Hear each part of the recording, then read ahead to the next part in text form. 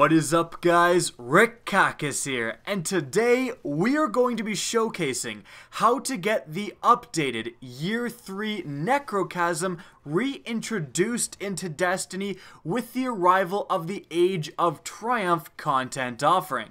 I am one day late with this video, but I thought going for the quadruple upload yesterday would have been a little bit much. So in this video, we're going to go over every step and everything you need to know to get this weapon. So, on to the guide. But before we do, guys, if you enjoy this content and want to see more, please remember to support the video by liking, commenting, and especially sharing. It's a simple thing to do, but it really does help me out. So, how do you get the Necrochasm?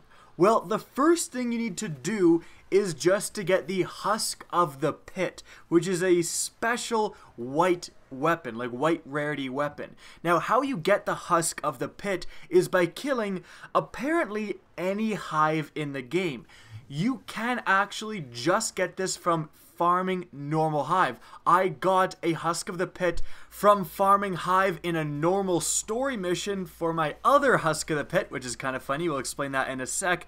But the most common way people are getting them is from the Nightfall. It does seem that the husk of the pit has a higher chance to drop kind of from the higher tier hive enemies. And therefore, the Nightfall right now is currently the Shadow Thief. So you can start it up and immediately engage some hive. And once you deal with the Shriekers at the very beginning, you can work your way inside this complex and find a bunch of hive to kill. Now eventually in this circular area you're going to find a couple of ogres. These seem to have really high drop rates for the husk of the pit. Now, if you're watching this several weeks from when I make it and this is not the current Nightfall, don't fret, you can again just kill any hive. People have gotten it just from killing knights in strikes. Again, I got it from killing normal hive in a story mission, just kill hive. But again, the higher tier hive and higher tier activities seem to have better chances to drop the husk of the pit. Now, once it does drop, it's just going to be present as a white little circle on the ground, almost like you're getting a Siva offering. You pick it up, and yep, there you have it, the husk of the pit. As soon as you pick this up, it will start this exotic quest to end up getting the Necrochasm. Now once you have the Husk of the Pit, the next step is to upgrade this weapon into the Eidolon ally, and you do this by completing the Cannibalism node. Now very importantly, the Cannibalism node for a lot of you is going to be different than you see mine.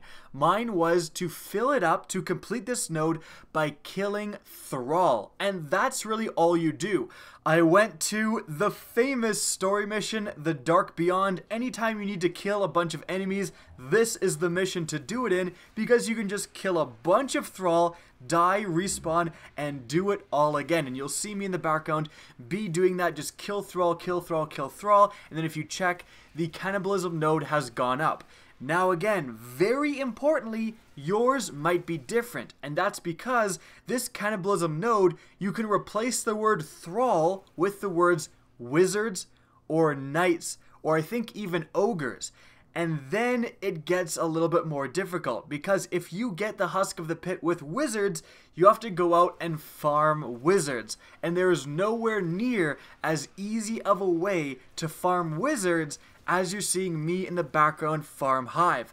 So what you may want to do is to keep farming Husk of the Pits until you get Thralls. It is by far the easiest one, and it may take you less time to farm husks of the pit because they do keep dropping. Once you get that first one, you can still keep respawning in the nightfall and keep killing those ogres and keep getting husks of the pit. You don't just get one. So you can keep doing that until you get thralls and then farm the thralls to complete the next step. Just keep that in mind because if you get knights and stick with it, it's going to take you a lot longer than Thralls. But again, it's no guarantee that you're going to even get a Husk of the Pit with Thralls if you keep farming them. So again, keep that in mind. In any event, kill the enemies that you need to kill and fill up the cannibalism node. Once this is available to complete, you've done this step. Simply go into your inventory, complete the cannibalism node, and it will instantly upgrade to the legendary Eidolon ally. Once you do this, you will have a new step to go and speak to the speaker in the tower. Once you do this, he's going to give you 25 motes of light, pretty generous, but that's really to upgrade the Eidolon ally. He's then going to send you to the other side of the tower to speak to Eris Morn. Once you do this, she's going to give you the next proper step to go and get the Necrochasm. This step consists of three things. Firstly, traverse the abyss. Secondly, kill Crota. And thirdly, kill Omnigul. Now, traverse the abyss is really just complete the first part of the Crota's End raid. Killing Crota is complete the last part. So those two steps can really be condensed into beat the 390 light version of Crota's End. And it does say in the description that you have to do the 390 light version. So I believe you could either do the normal hard mode or you can do the featured weekly mode as it is right now. Killing Omnigul, however, is just killing Omnigul. I loaded up the level 16 Will of Crota Strike just out of the directory, and that still worked. When I killed Omnigul, this part of the exotic quest was completed, and then I just had to do the raid afterwards. So there is no way around it. The next step is to do the 390 light Crota's End raid. This makes sense. In the past, getting the original Necrochasm, you had to get the Crux of Crota to drop from killing Crota during hard mode raids, and it was a super low chance to do so. It was absolutely hell getting the Necrochasm for so many people. So thankfully, this has kind of done away with that RNG because after you do kill Crota, you've done that raid, you're simply going to go back and talk to Eris Morn. Now, when you do this, make sure that you have one free slot, at least, in your materials. And that's because when you talk to Eris Morn, she's going to give you the essence of the Oversoul. This is going to be the final thing you need to upgrade your Eidolon ally into the exotic Necrochasm. And again, the Essence of Oversoul takes up a material slot, so just make sure you're not talking to her with a full material slot. In any event, simply upgrade your Eidolon ally in whatever method you choose. I just popped a ton of motes of light to upgrade it instantly, and once you have completely upgraded it, the final node requires the essence of the Oversoul that she gave you, and once you complete this node, it will instantly transform into the Necrochasm. And for me, it kind of made my inventory look a little bit weird. It, was it was weird. So make sure maybe you have a free primary slot as well when you were doing this. I had to quickly transfer something to my vault, switch weapons over, but luckily I still had my Necrochasm when all was said and done.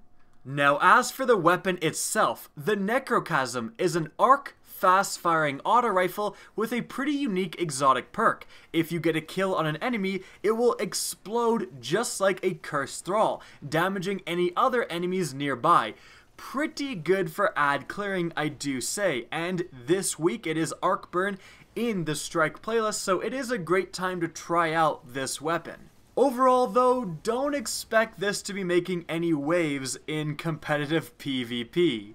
And so guys, I hope you enjoyed this video and found it helpful. Now if you did, please remember to help me out by simply rating and especially sharing this video.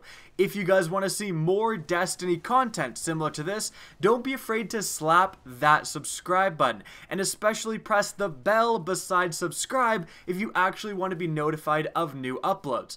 Now, if you guys want to get in touch with me and keep up to date with the latest channel activity, the best way is to follow me on Twitter at RickKackis. That's linked in the description down below, as is my Twitch channel, which you can also follow. Again, hope you enjoyed the video, and as always, have a good day.